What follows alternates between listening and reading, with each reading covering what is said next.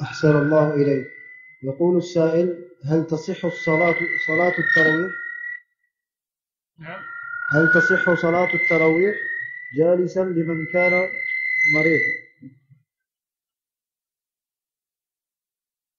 يقول هل تصح صلاة التراويح جالسا لمن كان تعبان أو مريض؟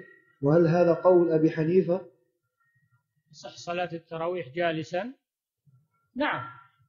النافلة تصح من الجالس حتى ولو كان غير مريض ولو كان قويا تصح النافلة من الجالس. أما الفريضة لا تصح إلا بالقيام لأنه ركن من أركان الصلاة هذا في الفريضة. ولا يجلس إلا لمرض.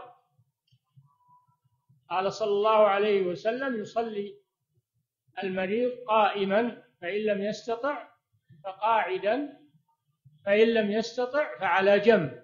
هذا في الفريضة.